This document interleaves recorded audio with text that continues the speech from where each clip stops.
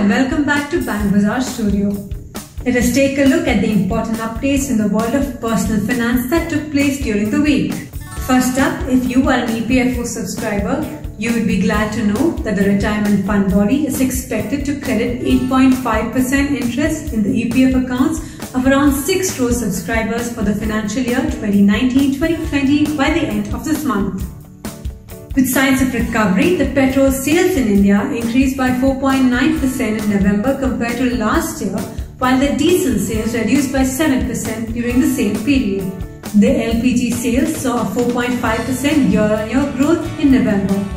Moving on, the RBI has approved the reappointment of Kotak Mahindra Bank founder Uday Kotak as Managing Director and CEO of the private sector bank for three years effective from 1st January 2021.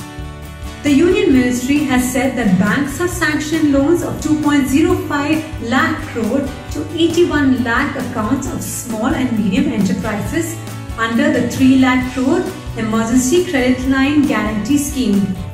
This scheme is a government initiative to offer liquidity support to the MSME sector that has been battered by the COVID-19 pandemic. If you are looking to take a car loan in the near future, then you would be glad to know that banks are currently offering loans at record low interest rates. The Punjab and Sindh Bank is offering a loan worth rupees 10 lakh at 7.10% per annum. The Central Bank at 7.25% per annum and Canara Bank at 7.3% per annum.